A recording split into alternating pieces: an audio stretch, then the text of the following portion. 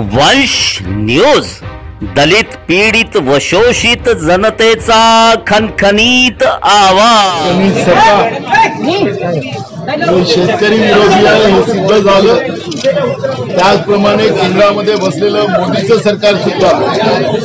हे सुद्धा शेतकरी विरोधी आहे हे आपल्याला आज पाहायला मिळते आहे. राज्यामध्ये मागच्या अवकाळी पावसाचे पैसे दिले गेले नाहीत.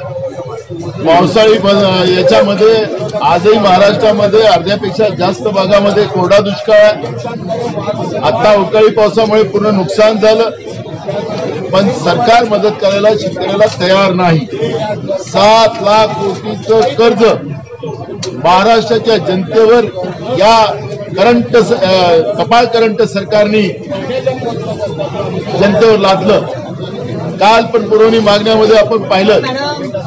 की छप्पन हजार कोटीचं कर्ज म्हणजे पुन्हा पुरवणी मागण्या त्या ठिकाणी ठेवल्या.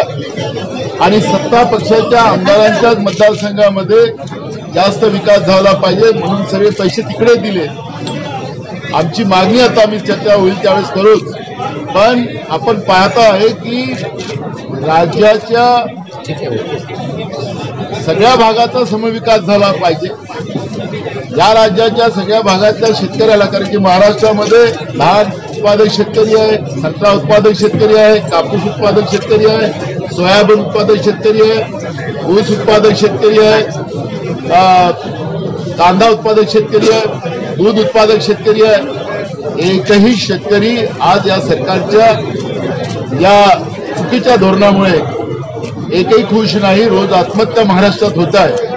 आम्ही सरकारला विनंती केली की आजच तुम्ही चर्चा चालू करा आजच उत्तर द्या. राज्याचा शेतकरी राज्याचा अन्नदाता आपल्या निर्णयाकडे वाट पाहत आहे पण काल पण सरकारने घोषणा केली आणि सांगितलं की आम्ही जी मदत दिली त्याच्यापेक्षा जास्त मदत आतापर्यंत कुठल्याच सरकारने दिली नाही. पुन्हा शेतकऱ्यांच्या जखमेवर मीठ चोळण्याचं काम कुठलीही मदत शेतकऱ्यांना पोचली नाही. पण त्याच्यानंतरही आम्ही मदत केली असं आव्हान असेल सरकार तर शेतकरी पुन्हा त्रस्त झालेला आहे शेतकऱ्यांच्या आत्महत्याचा सत्र सुरू आहे महाराष्ट्रात आणि हे सरकार आपलीच पाठ आपल्या हाताने ठोकत आहे. विधानसभा अध्यक्ष विरोधकांचा आवाज दाबण्याचा प्रयत्न करते आहे बोलू देत नाही आहे. एकतर्फ राज्य विधिमंडळाचं अधिवेशन चालवायचा प्रयत्न करतात आहेत. आणि अशा वेळेस विरोधी पक्षांनी आज विधानसभेतून बहिर्गमन केलेलं आहे शेतकऱ्यांना न्याय मिळाल्याशिवाय आणि महाराष्ट्रामध्ये ज्या पद्धतीनं ओबीसी मराठा वाद निर्माण करून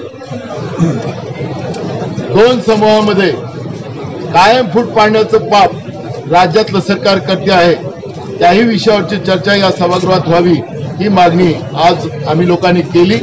पण सरकार ऐकायला तयार नाही. सरकार पळ काढत आहे विधानसभेतून आणि अशा या सरकारचं धिक्कार करण्यासाठी आणि धिक्कार करून आम्ही या सभागृहातून बाहेर निघालो.